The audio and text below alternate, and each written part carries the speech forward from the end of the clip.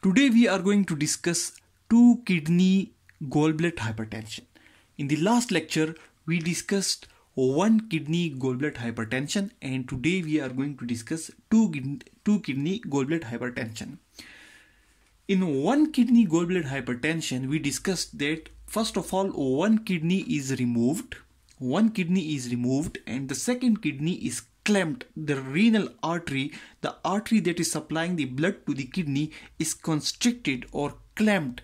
And then uh, after that hypertension develops in the body and that is due to single kidney and because uh, after clamping the renal artery renin secretes which acutely raises the blood. And then after some time the, due to the effects of renin aldosterone starts retention of salt and water which raises the body fluids and hypertension occurs. That is the late rise of hypertension. But in two kidney Goldblatt hypertension we have both the kidneys intact. Both the kidneys are there. Neither of them is removed but one of the kidney is clamped or constricted. This part of the renal artery is constricted in just one kidney. In this uh, situation, the hypertension will occur again because we are discussing the types of hypertensions in which angiotensin is involved.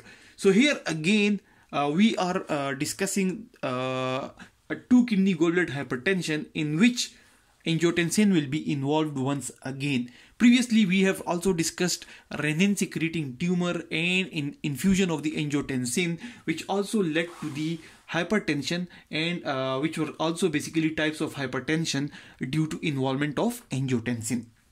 And broadly, we are discussing the role of kidney in regulation of arterial pressure. So all our uh, these lectures are in continuation of the role of kidney in regulation of the arterial pressure. Now coming back to the two kidney Goldblatt hypertension, when one kidney is clamped and the second kidney is uh, remains intact or normal, what happens that due to the clamping of the uh, the renal artery of this kidney, the blood flow the, the blood flow in this portion the blood flow in this portion it decreases.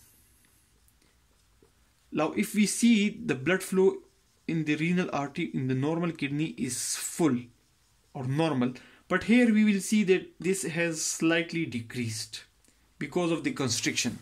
Now once the blood flow to the kidney is decreased there will be secretion of renin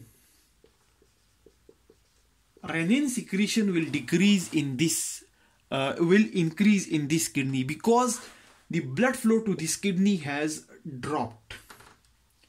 The blood flow to the kidney has dropped so renin secretion from the kidney has increased or has jumped up. Now what the renin will be doing it will basically uh, lead to the formation of angiotensin.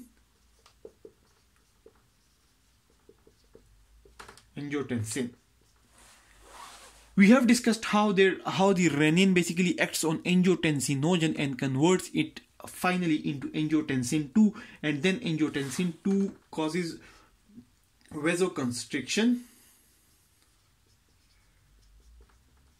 and retention of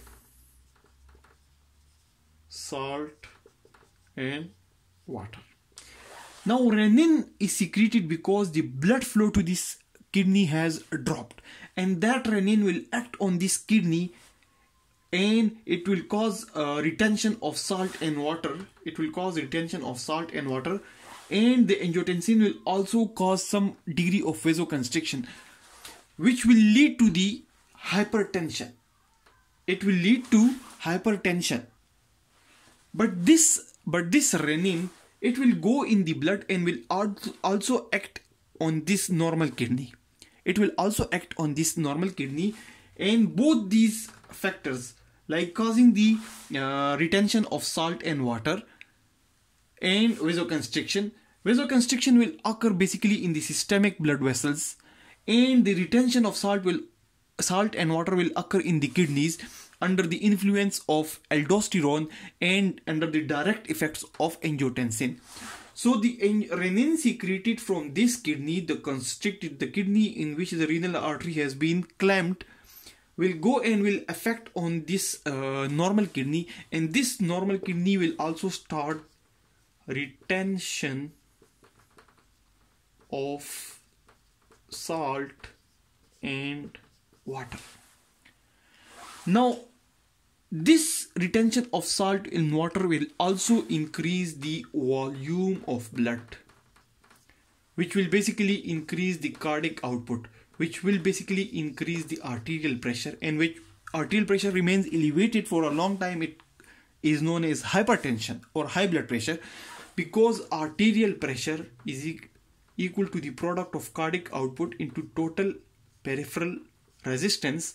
So basically aldosterone aldosterone that is uh, that is basically activated or secreted with the help of angiotensin helps in the retention of salt and water which basically increases the blood volume which leads to increase in cardiac output. And cardiac output uh, when increased will definitely increase the arterial pressure.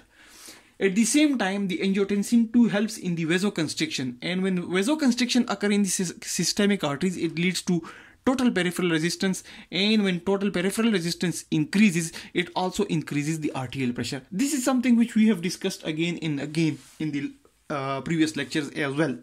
So hypertension will occur in two kidney Goldblatt hypertension. In this affected or the clamped kidney it will occur because the blood flow has decreased. It will occur because it will help it will cause hypertension. This kidney will cause hypertension or it will try to increase the arterial pressure because it will secrete renin because it has decreased blood flow. It will try to improve increase the arterial pressure or it will lead to the uh, high blood pressure or hypertension because the blood flow to this kidney has dropped due to the clamping of the renal artery. But this kidney will also helps uh, in increasing the arterial pressure and causing hypertension because of the effects because of the effects of renin secreted by this affected kidney. There is no decrease there is no decrease in the blood supply to this kidney but still it is uh, helping in the retention of salt and water due to the effects of renin that were secreted by this affected kidney so both of these kidneys are causing the hypertension or contributing to the two kidney Goldblatt hypertension but for two different reasons. This kidney is uh, contributing to the hypertension because of the decreased blood flow which basically uh, leads to the secretion of renin and this kidney is uh, contributing to the hypertension or two kidney Goldblatt hypertension because of the renin secreted by this affected kidney.